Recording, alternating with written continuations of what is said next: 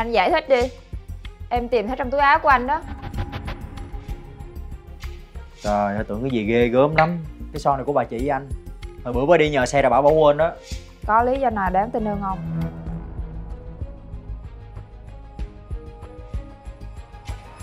Hưng, bữa chị đi nhờ xe em có để quên cây son á.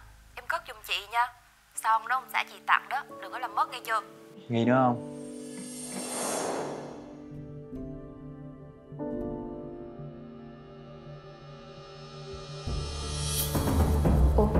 Ở đâu ra cây son vậy? Anh Hưng cẩn thận lắm mà. Nếu có ăn vụt ở ngoài Cũng không có sơ hở tới mức này. Có thể là cố tình dò xét thái độ của mình. Thì thôi chồng yêu.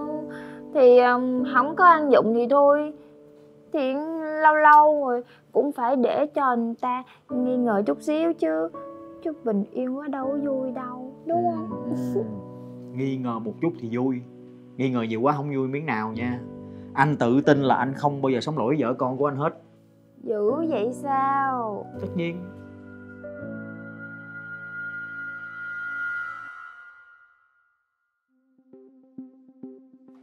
Dạ, chị có đơn hàng không đồng? Ủa, em nhớ là em đâu có đặt đơn nào đâu ta.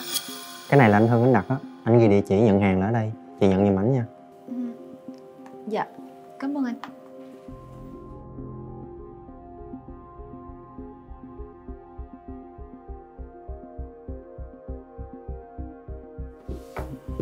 Ông này giao cái gì vậy?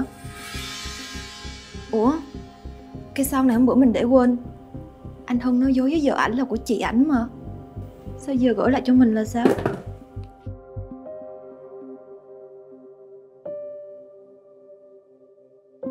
Cổ nhận được hàng rồi Không có nghi ngờ gì hết á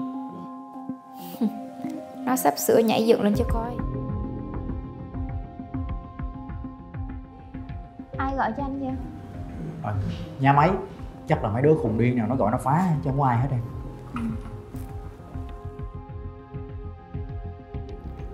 nè bây giờ chắc em phải về công ty anh ngồi chờ em một xíu nha. Ừ, Em đi đi. Túi của anh nè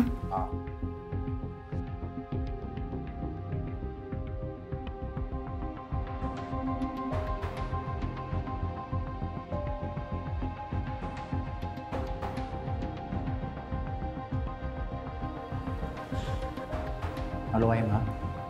Alo anh hả? Anh gửi cây son qua cho em hả? Sao nào? Cái sao hôm bữa đó. Em để quên xong rồi. Anh nói dối vợ anh mà. Bây giờ gửi lại cho em được có con gấu bông nữa.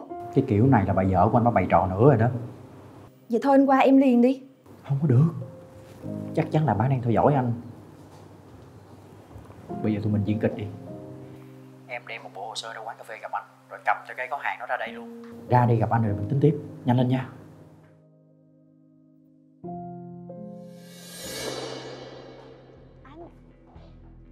Em thấy con vợ anh nó đang ở gần quán này nè Có khi nào là nó đang theo dõi anh không? Anh, Lỡ như nó biết là Em với anh qua lại với nhau thì sao? Hả?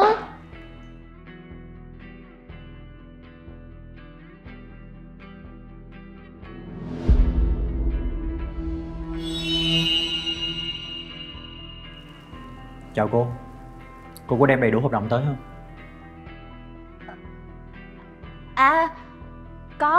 Đây nè tôi mang đầy đủ hợp đồng hết đó anh coi đi. Nhưng mà tại sao anh gửi cho tôi con gấu với lại cái son nữa vậy? Tôi không hiểu gì hết. Tôi cũng đâu có biết gì đâu. Tôi đâu có gửi cho cô mấy cái món này. Ủa? Quý hai người không cần phải diễn nữa đâu. Tôi không có nhu cầu coi kịch. Tôi phải coi kịch gì Em chưa đi nữa hả? Mà em nói diễn thì diễn cái gì đâu có diễn cái gì đâu. Đây là Vi, là đối tác của anh. Tụi anh đang bàn công chuyện làm ăn mà Cái gì quý? cái điện thoại này nãy giờ nó vẫn gọi vào số điện thoại của tôi. Tôi nghe hết cuộc nói chuyện của hai người rồi. Anh có cần nghe lại không? Chắc chắn là bà đang theo dõi anh Bây giờ tụi mình diễn kịch đi. Em đem một bộ hồ sơ ra quán cà phê gặp anh Rồi cầm cho cái có hàng nó ra đây luôn. Em thấy vợ anh đang ở cùng quán cà phê này. Không lẽ bà biết em với anh đang quen nhau hả? thực chất cái điện thoại này mới chính là công cụ nghe lén của tôi còn cái máy nghe lén ở trong con gấu này á hả? Đánh lừa cô thôi. Mà cô ngu quá, không có nhận ra. Tôi cần chứng cứ ngoại tình của anh Để cho gia đình hai bên biết được bộ mặt thật của anh. Ngay cả bạn bè, đồng nghiệp hay là đối tác. Thôi mà quý Anh biết anh sai rồi. Em đừng có làm anh mất mặt nữa. Bỏ qua cho anh một lần tha thứ cho anh nha quý. Mốt anh không có dám vậy nữa đâu. Anh bỏ cô ta liền mà. Ê, anh, Hân. Nói gì vậy? Là bây giờ anh chọn nó rồi anh bỏ em hả? Bây giờ mọi chuyện nó buông bé ra hết rồi Tôi không có cần cô nữa. Tôi chọn gia đình tôi Cô đi về nhà một cái đi. Anh chọn gia đình anh còn em thì sao? Tính chơi chán con này rồi đá hả? Không có dễ đâu thằng Tồi. Thì bây giờ mọi chuyện lại như vậy rồi Tôi nhắc lại một lần nữa. Tôi chọn vợ tôi Tôi chọn gia đình Tôi không có cần cô. Cô không còn nghĩa lý gì đây nữa hết. Đi về một cái đi. Đi đi. Ok Không đợi con vợ anh nó phốt anh đâu. Con này sẽ phốt anh nè. Thôi kệ nó đi em nói chung là bây giờ Anh không bao giờ gặp lại nó nữa đâu. Anh không có cần nó nữa. Anh thề là không bao giờ anh quay lại với nó nữa đâu. Nãy giờ tôi diễn với anh đó. Hả? Anh trở mặt cho nó rồi đúng không? Vậy là bây giờ anh mắc cả vợ Rồi cũng không còn người tình. Ừm, Mắc cả chì lẫn chài ha. Em- Nhưng mà tôi nói cho anh biết Tôi vẫn sẽ trừng trị anh theo cách mà tôi muốn Gặp nhau ở tòa đi Thôi mà quý Quý Quý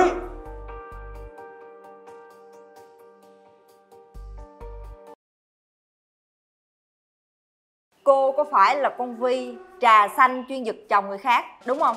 Ăn nói xà lơ Cô có phải là con Ngân Tiểu Tam Chuyên đi giật chồng người khác đúng không? Cái gì? Cô mới nói ai là Tiểu Tam? Cô điếc hả? Tôi nói cô là Tiểu Tam Cô giật anh Hân của tôi đúng không? Anh Hưng rõ ràng là quen tôi trước mà cô dám nói là tôi giật anh Hưng của cô hả? Ý, Cô dám nói này Cái con này Mày đã giật anh Hân của tao Mày còn dám quýnh tao. Mày mà tao cho mày thấy cái cảnh này quỷ cá này mày dám giật anh Hưng của tao. Khoan, khoan, khoan, khoan, khoan, cái gì mà khoan? Tao đang quýnh lộn mà khoan cái gì? Bây giờ mấy mình nhìn đi rồi chúng mình quýnh tiếp. Nhìn cái gì? Tao một của tao muốn quýnh. Anh Hưng. Cẩn thận đó nghe. Dạ Rồi em ngồi đây đi. Bây giờ muốn uống cái gì nè?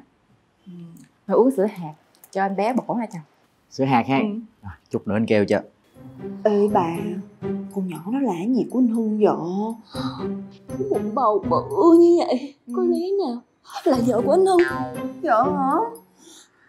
Vậy Ờ, tôi không mình lẽ là Tiểu Tam Vậy là mình bị thằng cố nó lừa. Rồi Chó. Mất dậy Anh tới rồi nè. Sao giờ anh mới tới giờ? Anh có biết là nãy giờ em đứng đây á, nắng muốn chảy mỡ luôn không? Chảy mỡ nóng quá chị không được hả? Nóng lắm. Thôi để anh dẫn đi cái quán nào nó mát mát. Mình vô trỏng mình ăn một cái kem thiệt là lạnh cho nó đã nha. Ăn kem hả?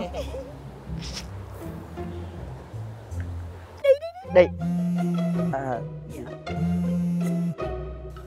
Anh nghe điện thoại cái. Anh nghe điện thoại mà đi theo anh chị. Thì hai đứa mình là một mà. Chuyện của anh cũng là chuyện của em. Anh nói chuyện công việc riêng ở bên công ty á Em nghe không có tiện đâu. Đứng đây đợi anh xíu đi nha. Đi mà. Cái gì mà riêng tư nữa? Alo anh nghe nè. Anh yêu Anh đang làm gì vậy? Anh đang bận. Cái gì? Anh đang bận hả? Thôi đừng có bận nữa. Qua đây em cởi cho. Không có phải. Ý anh đang bận là đang bận thiệt á. Cái gì ở công ty hả? Ok để em qua công ty em kiếm anh nha. À, không, không, không có được không có được nha. Sao không được? Chứ bây giờ anh muốn gì nè? Ờ, Tại anh đang trong giờ làm việc mà tự nhiên em qua công ty anh chi anh cũng có gặp em được đâu. Thôi Anh không qua với em Thì để em qua công ty em kiếm anh Nha. Thôi, thôi, thôi, thôi, được, được rồi, được rồi. Ở nhà đi, ở nhà đợi anh xíu đi rồi anh, rồi anh sắp xếp anh chạy qua nha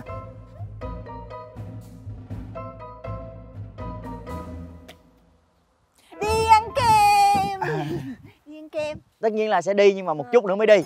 Chứ giờ đi đâu. Giám đốc mới gọi điện cho anh Bây giờ phải chạy về gặp khách hàng giải quyết công chuyện gấp Chưa có đi được. Không chịu không chịu. Ráng chịu một chút thôi mà. Tại công việc nó quan trọng lắm Không có ký kết là không có được đâu. Trời nắng đứng đợi nữa hả? Kiếm chỗ nào mát mát đợi đi. Ráng đợi xíu nữa thôi nha. Anh Hân Anh Hân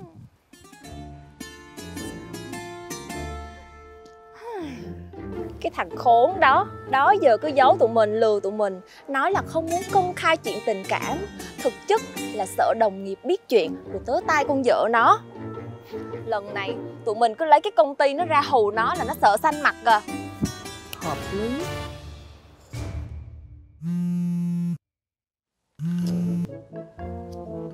Alo anh nghe đây. Anh quay lại chưa? Em đợi anh nãy giờ cũng tan mở luôn nè. Em không có kiên nhẫn đâu nha đợi đợi đợi đợi xíu nữa đi đừng có lên công ty làm gì hết á. Để lên Không có lẹm mò lên công ty á. À, đứng đó đứng đó đừng đừng có đi đâu hết. Anh quay lại liền. Đợi anh nha đừng có đi đâu hết. Với bà tôi xong. Ok.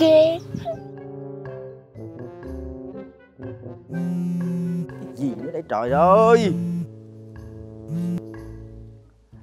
À, à, anh nghe. Sao anh chưa qua nhà em nữa? Anh mà không qua á em lên công ty ơi là trời quen chỉ một mớ được bây giờ nó hành lên hành xuống vậy nè. Khổ quá. Lần này cho thằng chả te tua luôn cho chừa cái tội.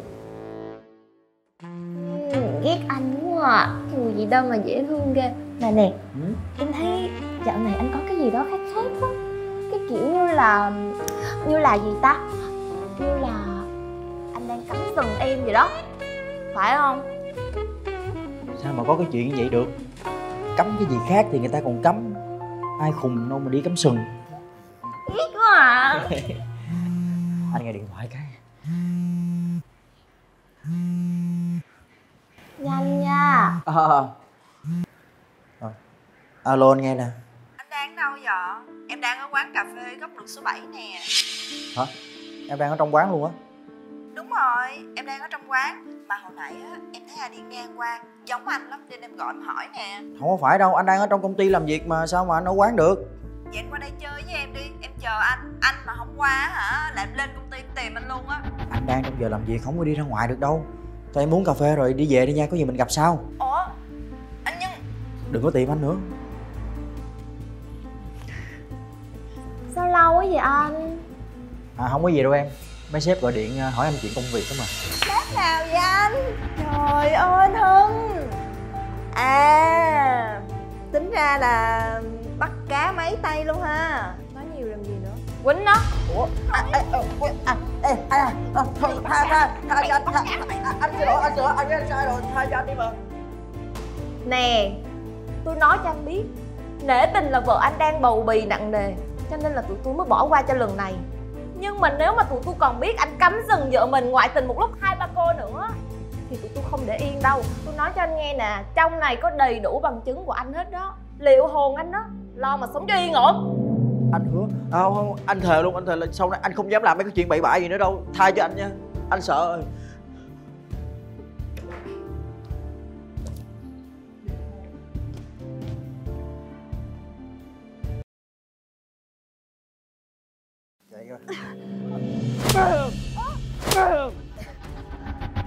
tao nói mày bao nhiêu lần? Tao gặp bạn bè tao.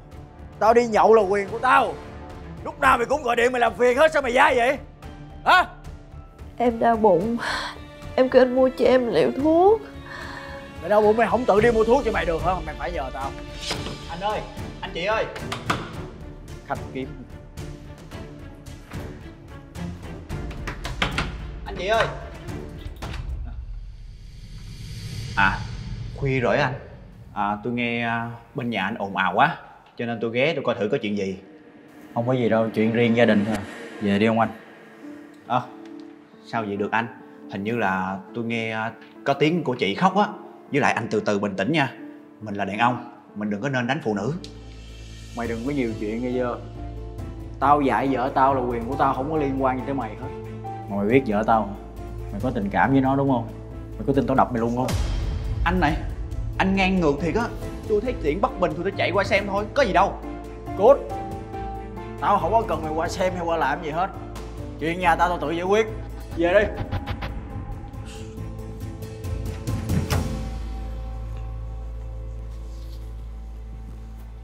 Chị.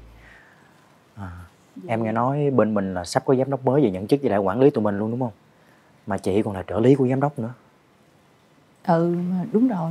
Có chuyện gì em gửi chị cái này. Coi như là chút quà em tặng chị. Rồi ít bữa giám đốc về chị nói tốt vậy em cho giám đốc nghe đi. Do là bên mình chuẩn bị có cuộc bầu trưởng phòng á. Em mà trúng được cái chức trưởng phòng em không quên ơn chị đâu. Thôi cậu cầm cái này về đi. Được hay không á là do năng lực của cậu. Chứ bây giờ cái này đâu có quyết định được. Thôi cầm về đi lo mà làm việc đi. Lỡ sếp thấy không có hay đâu Đi đi. Dạ sao đi đâu mà không khóa cửa lại? Để nhà cửa trong quơ trong quá vậy trời. Cảm ơn anh nha. Anh giỏi thiệt á. Mấy cái việc này mình cũng biết làm nữa. Không có gì đâu em. Ủa anh mới về? Anh anh. Bình tĩnh đã anh bình tĩnh. Còn quỷ cái tao đi làm công lưng ra cho mày ở nhà mày dắt trai về hả? Hả? Anh anh bình tĩnh lại anh. Mày im luôn. Bữa trước mày qua mày nhiều chuyện nhà tao là tao nghi rồi. Mày có tình cảm với vợ tao đúng không? Tụi bay qua lại với nhau bao lâu nói cho rõ ràng nha. Không thôi đập mày chết luôn đó. Anh nha anh ăn nói ngang ngược vừa thôi. Cái ống nước nhà anh bị rò rỉ. Chị nhà tính kêu thợ tôi ờ, lúc đó tôi cũng đi ngang qua luôn. Tôi thấy vậy á chuyện nhỏ tôi giúp. Chị có gì đâu. Anh không cảm ơn tôi một tiếng. Bây giờ anh lại kiếm chuyện với tôi nữa. Là sao? Sự uống nước. Tôi mày tưởng tao là con nít cho tụi bay diễn hả? Đợi đó đi. Chừng nào tao có bằng chứng á coi tụi bay còn chối được nữa không? Bây giờ cút về liền cút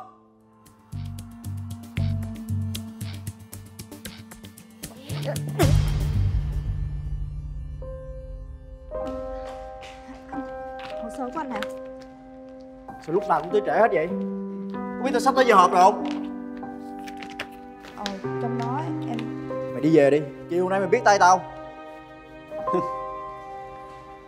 Không những anh cư xử tệ khi ở nhà mà ngoài đường anh cũng vậy lại là mày hả?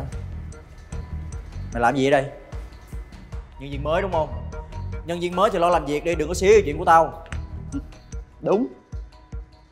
Tôi là người mới nhưng mà là giám đốc mới.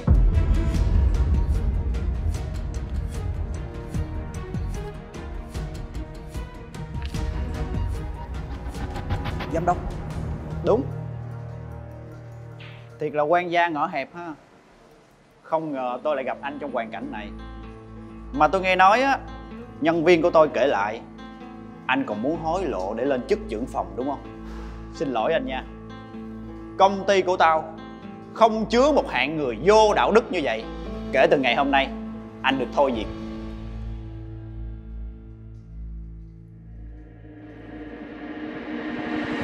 Cô hết á. Nè ở đây là công ty chứ không phải cái chợ. Muốn làm cái gì thì làm cô thấy chưa? Mọi tội lỗi, anh ta đều đổ lên đầu cô hết. Tôi tự hỏi, cô là phụ nữ mà tại sao không biết yêu thương bản thân mình? Lại để cho người khác có quyền đánh đập, chà đạp cô như vậy hả? Phụ nữ là để yêu thương mà.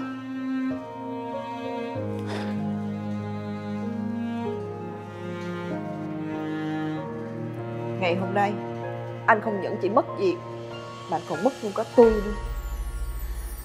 Đợt ly hôn Tôi để trong sách tài liệu đó. Anh ký đi.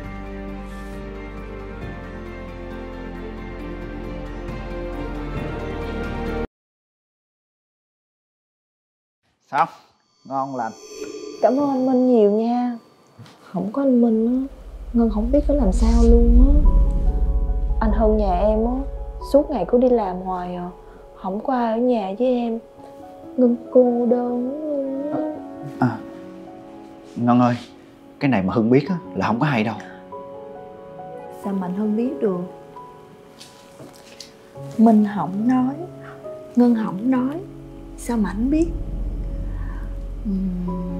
Mà Hình như Anh Minh á, Thích Ngân đúng không?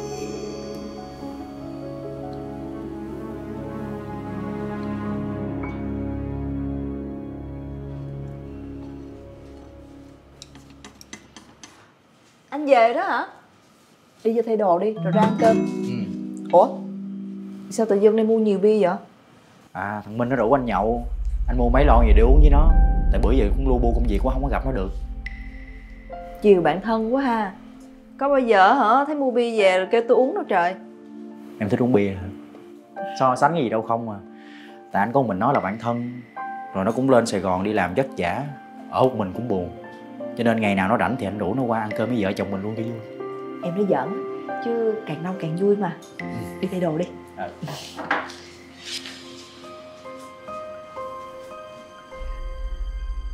Anh Minh phải ăn thiệt là nhiều vô nha. Chồng em á, quý anh Minh lắm á. Cứ kêu anh qua ăn cơm hoài à. Mà công nhận nha Đồ ăn của ngon nấu á là ngon thiệt luôn á. Nhất mày rồi nha Hưng. Vô nè. Ơ, cho em chung với nè Vô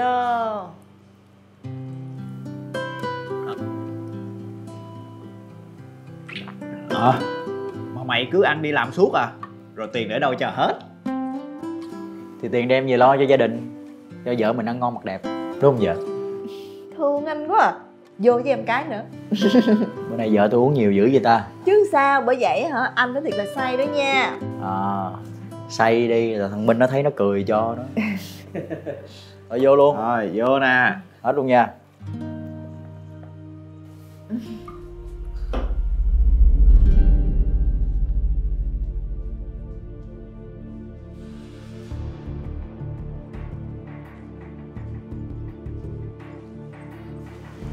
Anh. Ơi Dậy đi. Ờ, anh ký giùm em cho em cái tờ này với. Vậy Cái này hóa đơn á, người ta cần gấp á, anh ký giùm em đi đây nè. Ký đi anh.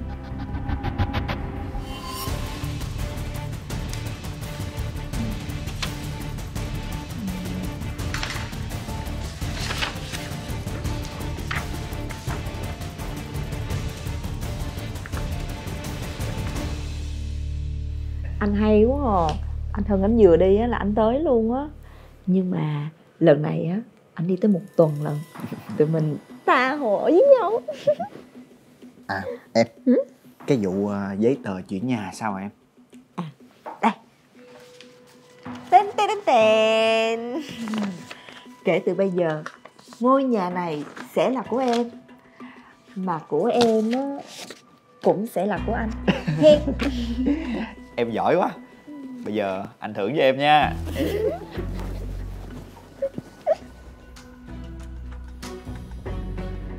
Hai người làm cái gì trong nhà tôi vậy? Tôi đi làm cực khổ. Để cô ở nhà cô lăn loạn như vậy đó hả? Thậm tệ hơn là cô qua lại với thằng bạn của tôi đó. Còn mày nữa Minh. Mày ăn nằm với vợ bạn mà mày coi được hả? Uổng công tao coi mày là bạn thân.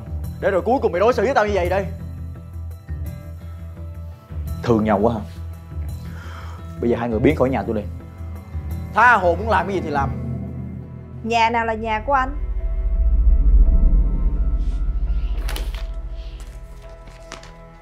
Anh coi cho kỹ đi. Anh chuyển nhượng tất cả qua cho tôi rồi. Bộ anh không nhớ hả? Đúng là cô mê trai tới cái mức bị nó làm cho mờ mắt hết. Cô mới là người nên coi kỹ lại đó. Những giấy tờ cô đang cầm Nó không có con dấu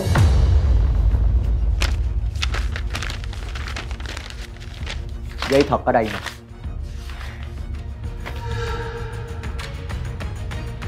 Cô bất ngờ lắm chứ gì. Nhưng mà cũng chưa bất ngờ mà có khoảnh khắc tôi thấy vợ mình với bạn mình nó phản bội mình đâu. Thậm chí nó còn lên kế hoạch để lấy hết tài sản của mình nữa.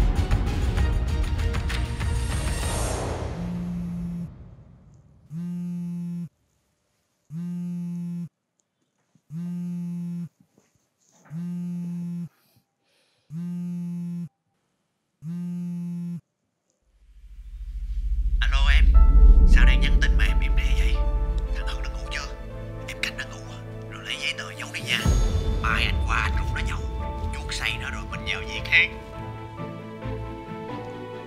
Alo Sao em không nói gì hết vậy? Alo?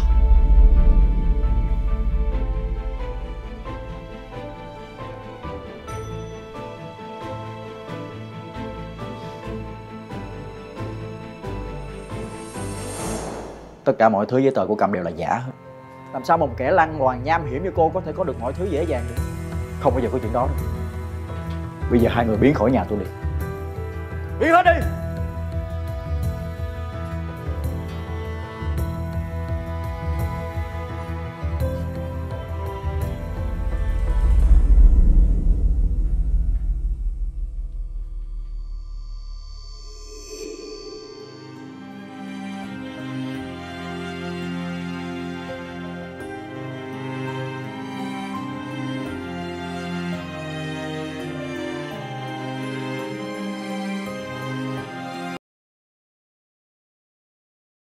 Nè anh Thương em quá à.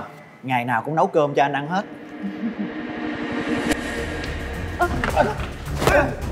Cái vậy? Mày là thằng nào vô đây hàm hồ hả mày? Thằng khốn nạn Mày đã có vợ đẹp con ngoan chăm sóc cho mày từng ly từng tí rồi. Mày vẫn đi ngoại tình Anh Hưng Thôi đủ rồi đó. Tại sao anh phải thôi? Nó đối xử với em vậy đó. Nó phản bội em đó. Tôi nói là đủ rồi. Thằng này là thằng nào em? Ờ Dạ Bạn cũ của em thôi à. Bạn cũ. Hay là người yêu cũ Ừ. Tao là người yêu cũ của Ngân đó. Cho nên tao không có chấp nhận cái chuyện mày đối xử với Ngân như vậy. Tôi nói thôi đi chưa? Anh đi về đi. Thôi. Chuyện này á Tụi em tự giải quyết với nhau đi. Anh không muốn dính líu nữa đâu. Anh đi đây Anh phá tôi đủ chưa? Anh không có phá em. Anh đang muốn giúp em. Anh đòi lại công bằng cho em mà. Chồng em mới đi ngoại tình. Hình ảnh tràn lan trên mạng hết rồi kìa Tôi biết hết chứ. Nhưng để làm cái gì? Em biết hết mà em vẫn bình tĩnh như vậy. Em mù quáng dữ gì Ngân. Em yêu nó nhiều tới cái mức là em chấp nhận cho nó ngoại tình Cho nó phản bội em luôn hả? Tôi không quan tâm. Còn anh nữa. Từ giờ trở về sau Cái chuyện mà anh Minh anh nó có đi ngoại tình ở đâu á Anh cũng nữa can thiệp vào. Cứ để mọi chuyện nó diễn ra bình thường đi. Anh không có chịu được. Anh không có chấp nhận cái thằng đó như vậy được. Anh lấy cái tư cách gì mà chấp nhận hay không chấp nhận Tư cách là người yêu cũ của tôi hả? Tại sao anh cứ làm mọi chuyện rối rắm lên hết vậy? Tôi không có yêu anh Minh. Nên anh có đi ngoại tình hay không tôi cũng không có quan tâm. Cái chuyện của tôi bây giờ á, chỉ cần là một người mẹ Một người vợ tròn trách nhiệm thôi. Anh có hiểu không? Anh coi kìa. Con nó kìa. Anh. Anh. Hả? Anh làm cái gì mà anh cầm điện thoại suốt vậy? Thì anh nói chuyện với bạn anh. Bạn nào Nhắn tin với em gái. Chắc là em gái cho em coi coi Cái gì? Đi đi Bỏ đây coi Làm gì vậy? Từ lúc nào mà em can thiệp sâu vào cuộc sống của anh vậy hả? Anh mệt mỏi em quá Chia tay đi.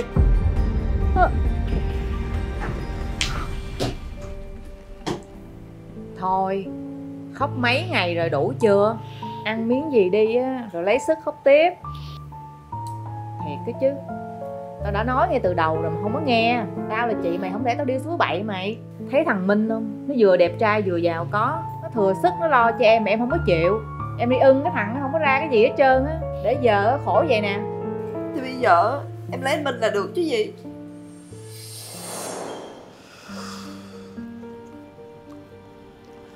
Anh xin lỗi em. Anh không có kiềm chế được. Thời gian qua anh cũng đã rất cố gắng để làm việc. Anh cũng đã tiết kiệm được một số vốn nho nhỏ Đủ để anh mở lời để em tha thứ cho anh một cơ hội quay lại với em. Mình làm lại từ đầu. Ngân à Em không thể nào chôn vùi cuộc đời mình vô cái cuộc hôn nhân không có tình yêu này được. Vậy bây giờ tôi phải làm cái gì? Tôi yêu anh hả? Mọi chuyện nó kết thúc rồi anh Hưng à. Tại sao lúc đó anh không nói những lời này với em? Tại sao mọi chuyện nó để kết thúc như thế này anh mới chịu nói?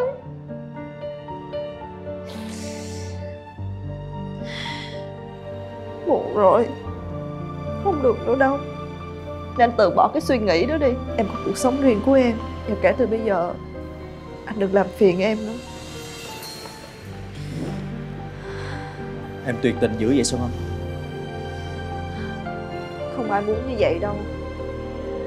Nhưng mà khi mọi điểm tựa xung quanh mình bắt đầu sụp đổ thì chỉ có tuyệt tình mới cứu được bản thân của mình thôi